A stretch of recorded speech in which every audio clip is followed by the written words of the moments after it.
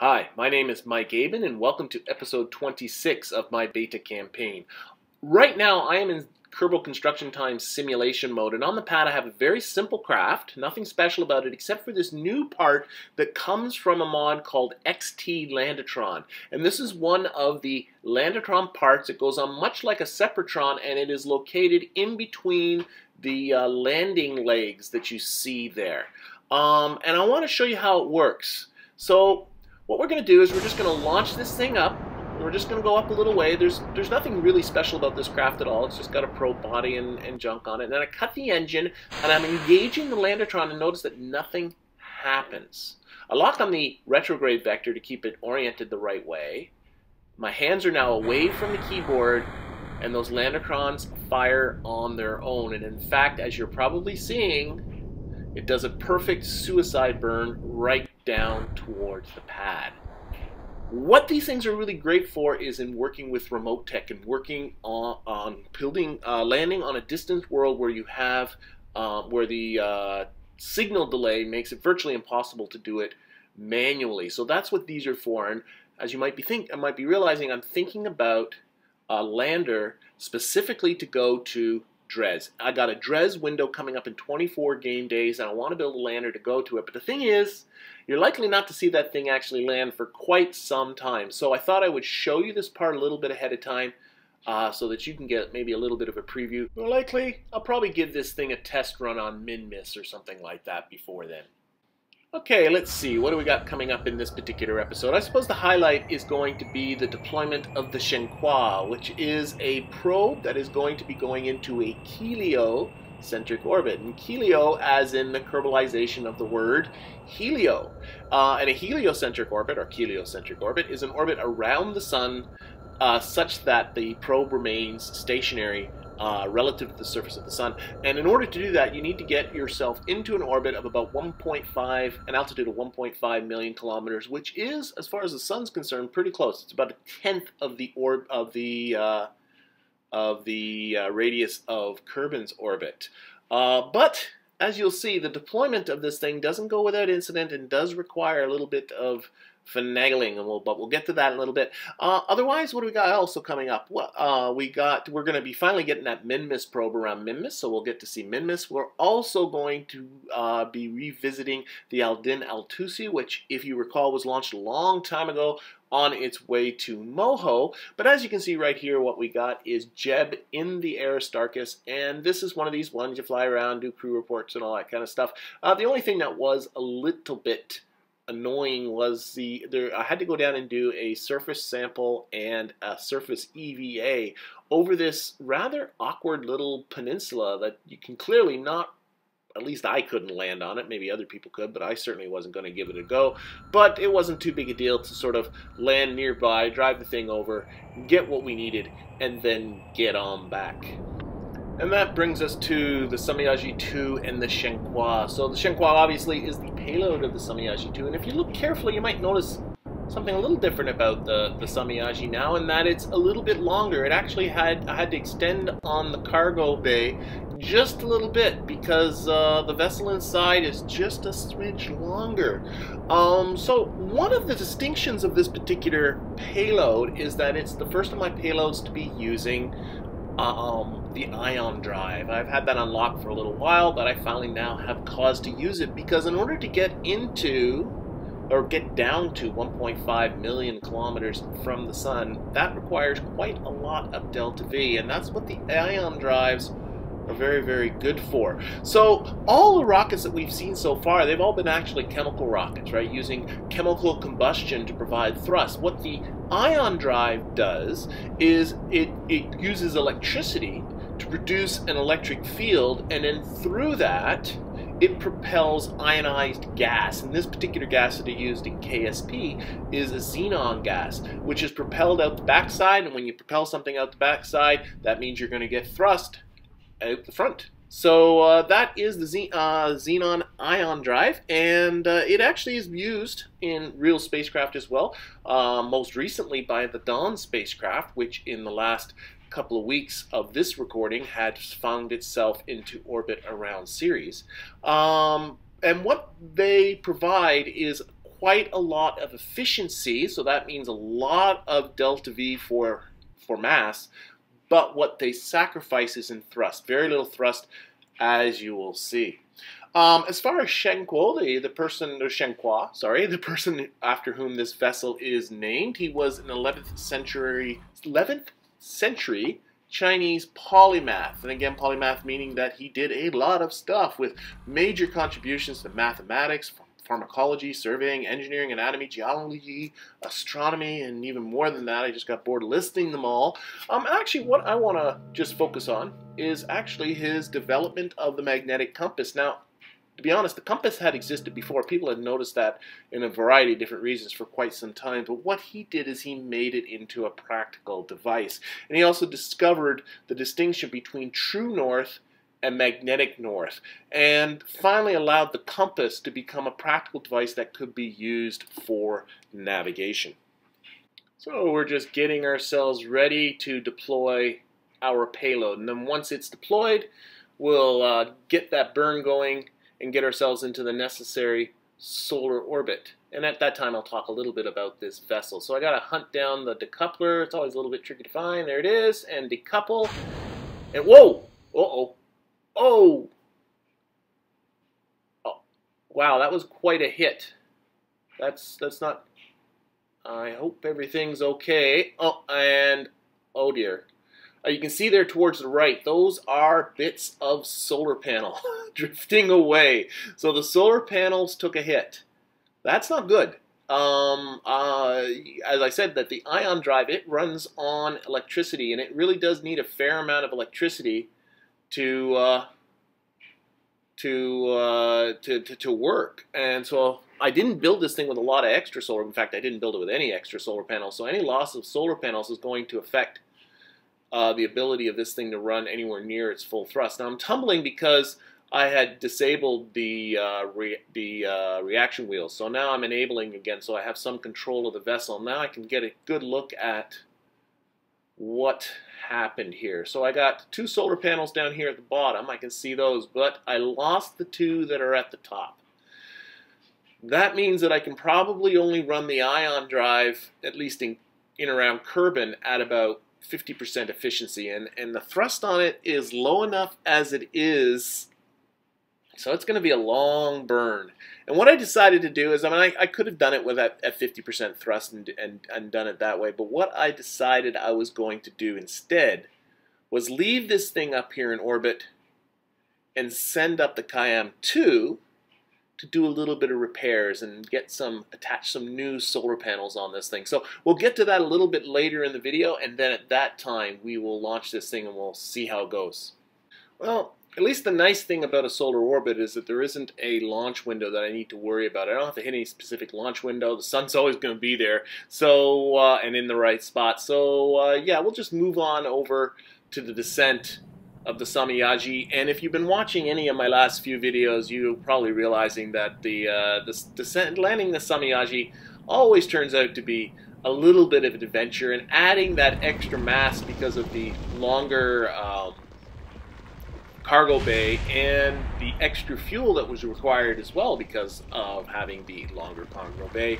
Uh, yeah, that does affect it, and it ends up going in hotter than it did before, and that meant that I ended up losing. uh, yeah, it started burning off my um, my air brakes.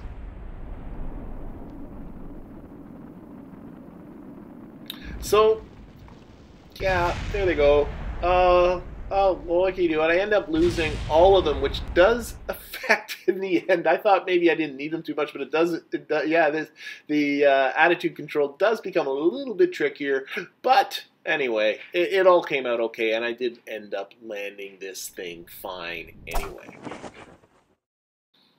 And that brings us to MapSat 4, which has taken itself 18, almost 18 days to make its leisurely way over to Minmus. Took a bit of a roundabout route, uh, went out past its apoapsis and is getting Minmus on his way back to Kerbin, but nevertheless, it's now in uh, Minmus's sphere of influence, and yeah, 360 something days, finally got something in Minmus's sphere of influence. Um, the insertion here is, is pretty routine but I wanted to take an opportunity to start to play a little bit more with the flight engineer because I know I'm going to be doing more and more maneuvers with longer and longer signal delays. I got a ship on its way to uh, Moho that you're actually going to see in this episode. I got one out to Duna. Soon I'll have one out to Dres. And I wanted to sort of wrap my head on how to use the uh, delay feature built into the flight computer.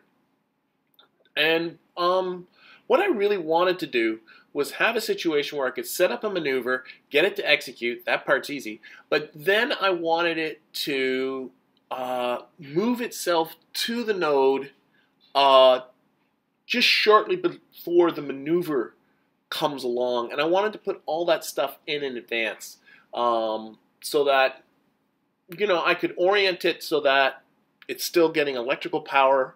And then just before it gets to the node, it moves itself over or just yeah, just before it gets to the maneuver node, it moves itself to the correct attitude and then does the burn. Um, and, and, and I spent myself, I, I played around with this, the flight engineer for quite some time, and, and I don't think I can get it to, I can get it to sort of do these uh, delayed, you know, going prograde or retrograde or whatever. Um, to be honest, after doing this video, specifically actually after playing around with the Aldin Altusi, which is on its way to Moho, which you'll see in a little bit, I think I did get some stuff figured out. But anyway, I ended up doing the insertion and, and turning on the, all this thing has is mapping stuff. I didn't put any science on it because I don't need science. So it's just got that uh, spectral analyzer for mapping biomes, it's got the altimeter for mapping terrain, and it's got the uh, uh, Karbonite detector on the top for detecting Karbonite, and that's about it. And that brings us to the Aldin Altusi, which has been in flight now for 111 days, on its way to Moho, and in need of an orbital correction burn, which is coming up in just a couple of minutes. But I want people to take note of the 23 second signal delay. So I put in a command uh, about 10 seconds ago to turn towards the maneuver node, uh, and it is now counting that down and counting that down. A few more seconds to go. Two more seconds, one more second, and there it goes now, to going towards the maneuver node prograde. So, um, yeah, you can see why now this flight computer is completely 100% necessary. It's also getting planned to do the uh, maneuver in about a minute. And actually, it was in playing around with it here that I actually finally figured out what I was looking for. Watch here as I deactivate this Communotron, which is no longer necessary. There we go. All right, so it's going to take, again, 23 seconds before that command uh, gets executed. And again, what it's doing is modeling uh, the speed of light, uh, a Kerbalized speed of light, which is one-tenth our speed of light, but, you know, to make it sort of in scale with the rest of the game. And yeah, a few more seconds and then that Communotron will deactivate. There it goes. But you know, it was in the playing around with this that I finally figured out how to do those delayed reactions. I was getting confused with MapSat 4 because every time I went to put in a command to go to the node, to adjust attitude towards the node, it said hold maneuver node prograde. And all I saw was the word prograde, and I thought it was turning to prograde, but it's the maneuvers prograde.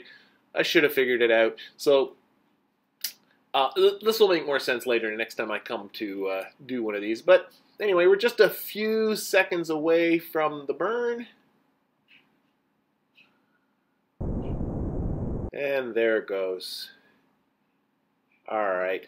And you can see my target actually is Eve still because I was I, I fiddled around again to try and see if I can get an encounter with Eve after it went by Moho, but there, there was no way to do it. So this thing is just going to do a flyby of Moho. Again, I can't get uh, a capture. I don't have enough Delta V.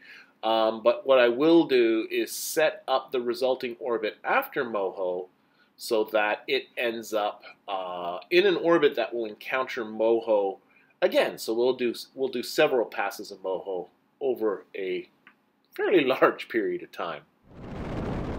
And that brings us to Roble and Bill on their way to the Shenhua to see if they can attach on some solar panels so that it can run at its maximum efficiency.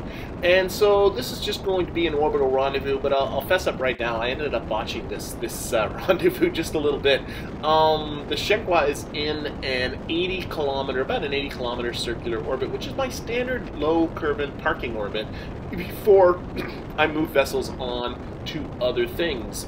And so this thing's also on its way to an 80 kilometer orbit, and whenever you do rendezvous, you shouldn't go into the same orbit, you should go into a different orbit, but my KOS launch program is set to go to an 80 kilometer orbit every single time because that's what I do every single time. I, if I if I have things I want to rendezvous with, I usually end up moving them to other orbits. But uh, in this case, that didn't work. If I didn't, I got lazy. I shouldn't have used KOS. I should have done this manually, and I probably could have uh, got launched straight into the encounter. But because I was using KOS and it was dumb, and I just let it kind of run its way, well, I ended up quite a ways behind uh, the Xiangkhua.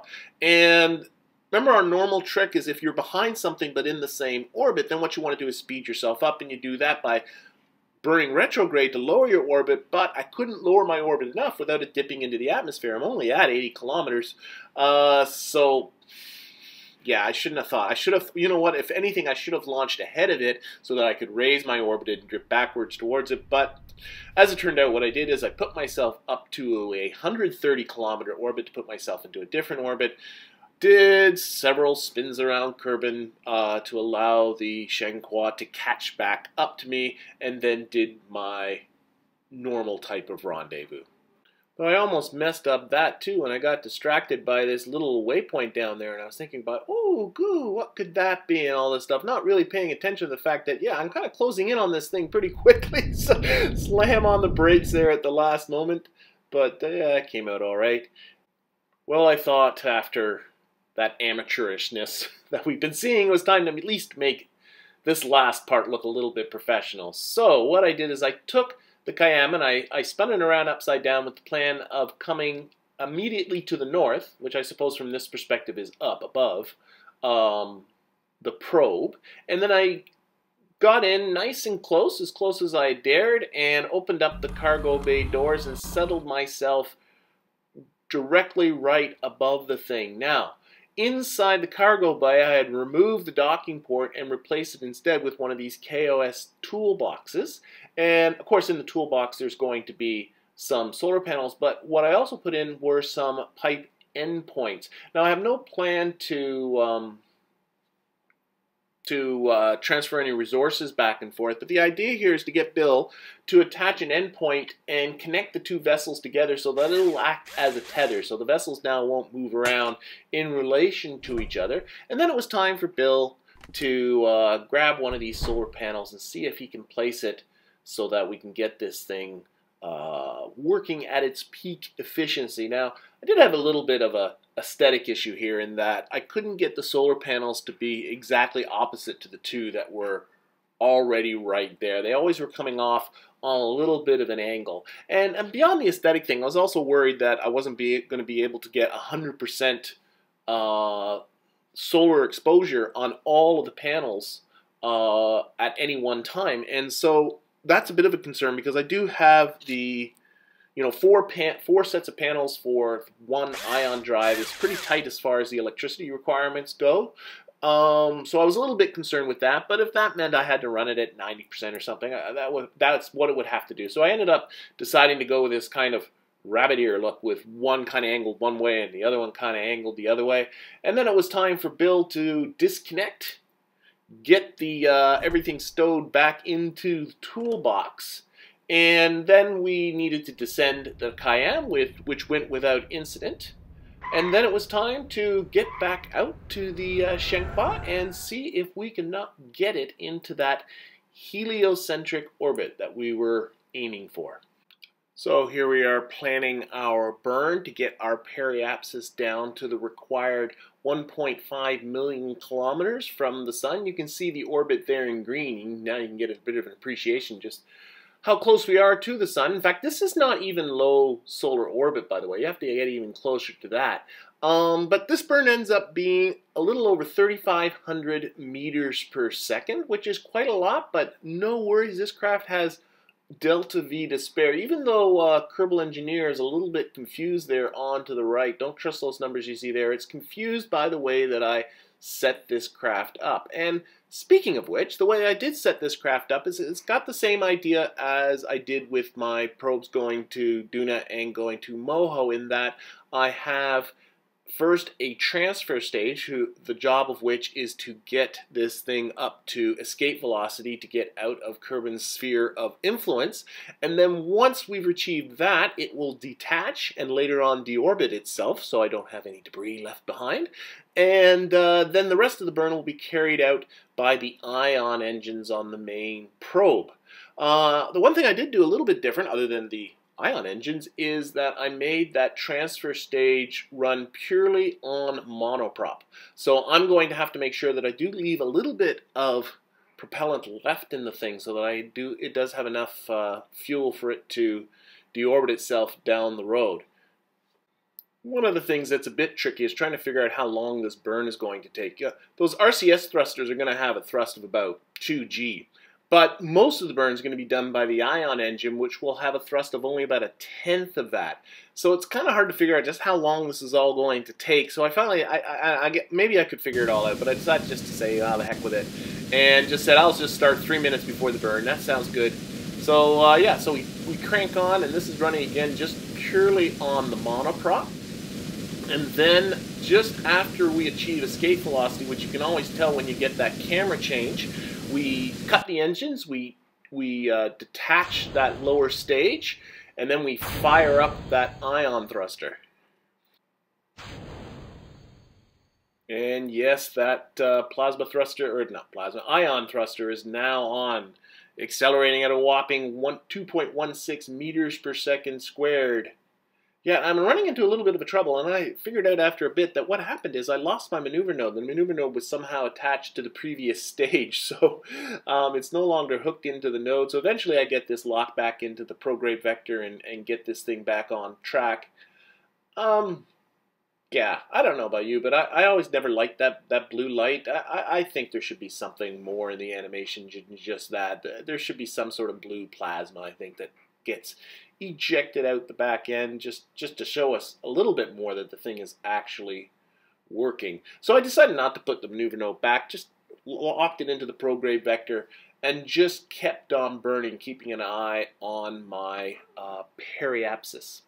And seven minutes into firing up the ion engine, uh, almost all of it on uh, physics warp, of course, I decided that I was getting a little bit worried about losing communication with just the Communotron that I had open, so I decided I would open up the uh, the dish antenna that I had and pick an appropriate satellite to aim it at, so that if in the uh, if I end up losing communication, I can fire up that satellite uh, or point the dish that's on that satellite back to this thing and uh, wake it up again. And it's a good thing I did that because 10 minutes later, and again that's 10 game minutes at four times speed, I did ended up end up losing that communications uh, link. So it turned out to be a simple matter just to go over to Keo ComSat 2 and point its antenna back at the Xianghua, and uh, I even took the time to uh, pop over to the transfer stage and deorbit that because I was starting to get concerned that it might lose its communication link as well. Though I did put a bigger Communotron on that one because I knew I would be getting back to it uh, a little later than I was that I that I than with the main probe. So um, yeah, it was pretty simple. Just fire up again, keep on going. one thing to notice is uh, I've been keeping track of my electricity up there at the top right, and if you notice, it's been staying fully charged all the time, despite the kind of quirky antennas that are there, or quirky solar panels that are there on the bottom. So, uh, well, I don't know, it kind of gives it personality. Anyway, after th almost 30 minutes since I first fired up this ion engine, our uh, periapsis gets down to the 1.5 million kilometers that we need it to be. And uh, when we get down there, we will circularize this orbit to finish off this contract. But that won't be for another 100 days. So obviously that will be for an episode uh, in the future. Um, in the meantime, I'm going to shut down three of these four solar panels just because I got a feeling that once I get down there closer to the sun, heat's going to be a little bit more of an issue. And so I'll only have the one solar panel going just to keep that probe core alive.